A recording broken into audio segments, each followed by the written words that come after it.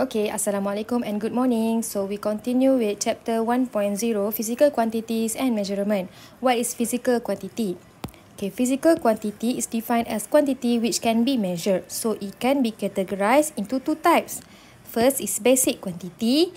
It's defined as quantity which cannot be derived from any physical quantities. As you know that we have seven basic quantities which are mass, length, time, electric current, temperature, amount of substance and luminous intensity. Okay, next is derived quantity. Derived quantity is defined as a quantity which can be expressed in terms of base quantities such as force, acceleration, velocity and more. Okay, 1.1 dimension of physical quantity. Dimension is defined as the technique or method which the physical quantity can be expressed in terms of combination of basic quantity. It can be written as bracket physical quantity close bracket or you can use the symbol of physical quantity such as force or you can use dimension of force. Okay, here the table show the dimension of the basic quantities. Do some correction here. It's not the symbol, but it is dimension. Okay, so dimension of basic quantity for mass is capital M. For length is capital L. For time is capital T. For electric current is capital I. For temperature is theta amount of substance is capital N and luminous intensity is capital J. Sometimes kita akan guna tiga ni je. Okay, so jangan risau. Okay, here is the symbol. Symbol for unit. kg, meter, second, ampere, Kelvin, mole and candela. Next 1.2 Scala and vector. Define what is scala and vector quantities. Okay, definition for scala quantity is quantity with magnitude only. Example, a car move from 30 km far. So 30 km is represent magnitude or value. Physical quantity related to scalar quantity is distance, speed, mass, work, time and more. Mathematical operational for scalar quantity more to ordinary algebra.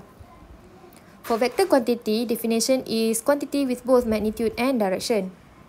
A car move for 30 km far to the north. 30 km is represent magnitude and to the north is represent direction. Sum of physical quantity based on the vector quantity is displacement, velocity, acceleration and more. And the mathematical operational for vector quantity more to vector algebra. Maksudnya kat sini you kena resolve lah component X and component Y. Next is illustrate unit vector i cap, j cap and k cap in Cartesian coordinate.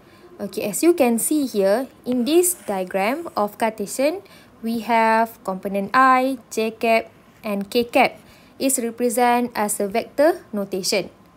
Unit vector ni adalah vector with magnitude of 1, no unit and is parallel to the coordinate axis. Contoh, kalau kita kata dia parallel to coordinate x, maka kita namakan dia sebagai i cap. Kalau dia adalah parallel to component Y, kita namakan dia J cap. Kalau dia parallel to component Z, nama dia adalah K cap. Unit vector is used for pointing and showing direction. So depends lah. Kalau direction towards X, kita panggil dia I lah. Kalau dia towards pada Y, kita akan panggil dia J. And then unit vector are dimensionless. Maksudnya tak ada tak ada nilai. Uh, means that nilainya hanya satu. Apa-apa nombor yang darab dengan unit vektor, nilainya tetap nilai itu. Contoh kalau saya kata i cap ni, dia duduk pada point 4, maka nilainya 4 i cap. Maksudnya 4 kali 1, nilainya 4. Okay, vector can be written in terms of unit vector. Is, for example, kalau kita kata vektor A, dia akan tulis sebagai AX komponen i cap plus AY komponen j cap plus AZ komponen K cap. Dia tak semestinya positif, dia bergantung kepada nombor yang duduk. Kalau contoh nombornya adalah 4 komponen Y, negatif 2 komponen sorry, 4 adalah komponen X, negatif 2 adalah komponen Y, XY, and then contohlah 5 adalah komponen Z. So, boleh tulis sebagai vektor A adalah 4 I cap minus 2 J cap plus 5 K cap. Ha, contohnya macam ni lah. tak semestinya positif bergantung kepada kita punya vektor tu duduk kat position mana. Unit vector is used to donate the direction of the given vector. Okay.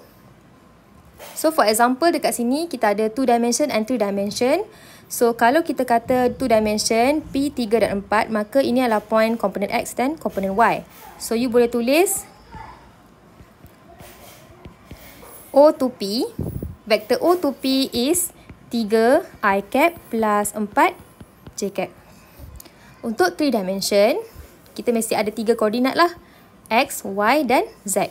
So, it can be write as OP, vector OP is dalam unit uh, dalam unit vector notation, dia akan tulis sebagai 2 I cap plus 3 J cap plus 5 K cap. Ini dua-dua ni adalah sebutan dalam unit vector notation. Okay, kalau ada vector notation mesti ada I, J dan K cap. So next is state the physical meaning of dot scalar product and cross vector product. Multiplication of vector. So as you can see that here is dot scalar product. The dot scalar product can be defined as the vector A dot vector B become magnitude A, magnitude B, cos theta whereas A is magnitude for vector A, B is magnitude for vector B, then angle must be angle between A and B. Macam mana cari magnitude? Okey, contohlah kalau dia bagi A kita tu adalah dalam unit uh, vector notation 3i cap plus 4j cap. So, untuk cari magnitude A, you kena buat 3 kuasa 2 campur 4 kuasa 2 dan square root. So, you akan dapat jawapan uh, 4, 16. 16 campur 3, sembilan. Ha, so nanti you kira lah. Ha, so dalam keadaan macam ni, ini adalah dia punya um, magnitude. So the dot product is the scalar quantity. Okay, so vector A dengan B must be parallel to each other. If they are not parallel, we need to resolve either one of them to make them parallel. Okay, contohlah dekat sini. Okay, asalnya A dengan B duduk dalam keadaan macam ni. Vector B, ni adalah vector A. Okay, so duduk pada certain angle. 30 degree, contoh. So now, kita kena resolve A tu jadi parallel kepada B atau B pergi kepada A. Nak senang, A kepada B lah sebab B tu memang dah duduk pada komponen X. Okay, so kita akan buat A pergi ke komponen B means that A cos 30. So, bila kita dah jadikan A cos 30, A cos 30 akan duduk sama position dengan B. A cos 30 degree is same parallel to vector B. Okay. So ni vektor A yang barulah iaitu A cos 30. Baru kita boleh jadikan dia sebagai dot product. Okay. So, contoh bagi uh, skala produk adalah paling dekat dengan jiwa kita adalah work lah. Sebab dekat sekolah pun pernah belajar work. So, work is equal to force dot displacement. That's why formula untuk work adalah Fs cos theta because dia adalah dot skala product. Okay, so next kita tengok pada cross vector product pula. Okay, cross vector product is defined as vector A cross vector B. Dia akan menghasilkan new product is vector C. Okay, so the cross product is a vector quantity. Then the magnitude is given by A cross B is equal to vector A cross vector B is equal to magnitude A, magnitude B, sin theta. So, theta must be angle between A and B. Okay, so how about direction? Because vector dia mesti ada dua-dua. Dia ada magnitude, dia ada direction. Magnitude kita boleh cari guna formula di sini. Untuk direction, kita kena cari guna right hand grip rule. Kalau awak tengok dalam gambar rajah ni, kita ada dua vektor, vektor A dan vektor B yang duduk dalam 90 darjah. Ataupun any angle lah.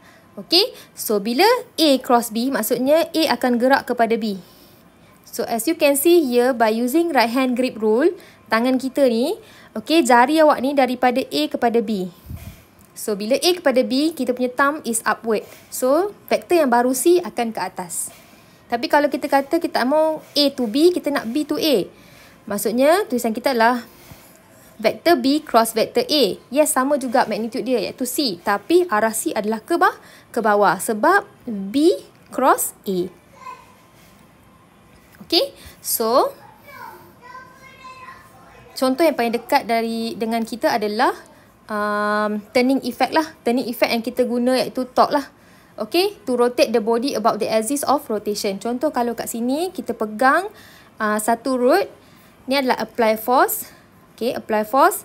Ni adalah radius. Untuk kita pusing benda ni, kita perlu supply force dan radius. Baru terhasilnya putar, putaran. Putaran tu iaitu torque lah.